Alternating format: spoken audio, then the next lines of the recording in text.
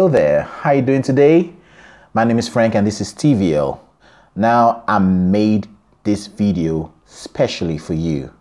Now it's high time I thought we stopped confusing all these different registers and get it very clearly. Registers, and I'm talking about chest voice, head voice, mixed voice, and then one that you know most people confuse with head voice, and that's falsetto. There's a difference between falsetto and head voice. Now, if you understand the law of sound or how sound works, this will be very clear to you. You understand this more. But before I go further, let me explain what vocal registers are.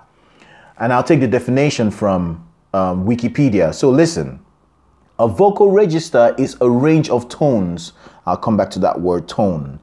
A vocal register is a range of tones in the human voice produced by a particular vibratory pattern of the vocal folds or the vocal cords. You can use both words. Vocal fold is the same as vocal cords. Now, tone. Now, the way sound works, tone is the quality of a sound that is produced.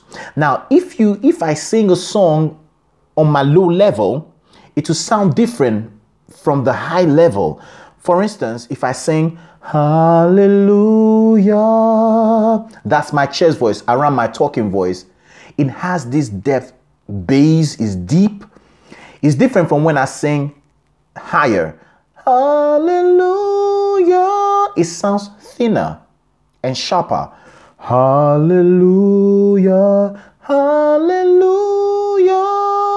So that's just how sound works. You know, when you go from bottom to top, you'll notice the change in tonal quality. Listen again.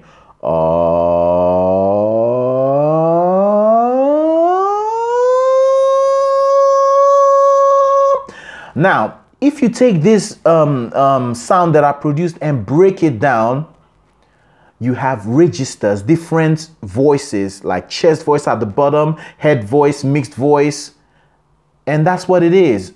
Again, the definition says a vocal register is a range of tones in the human voice, human voice produced by a particular vibratory pattern of the vocal uh, folds. Now, when the tone changes, something also happens in your vocal cords. For instance, when you are in your chest voice, I wish you could see what's happening here, but you can, you know, after this video, go to YouTube and watch, see how the vocal cords work when you talk or when you sing.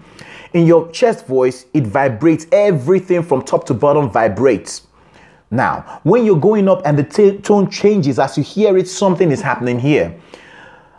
Automatically, it closes up part of its length and leaving like only one third to vibrate.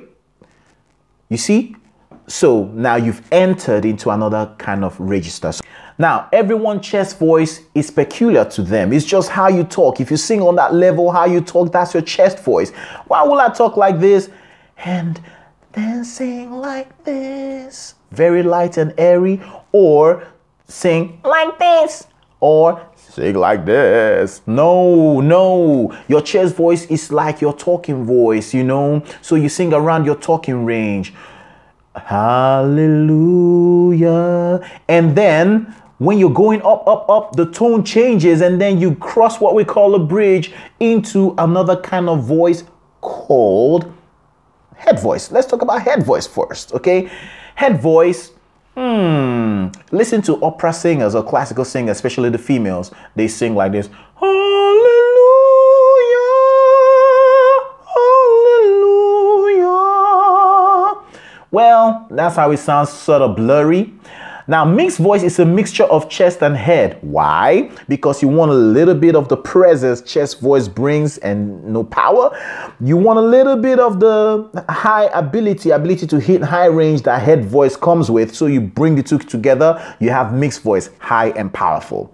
So it sounds like this. Hallelujah. I'll talk more about this in my next video. So click the subscribe button, okay? Don't forget and See you soon.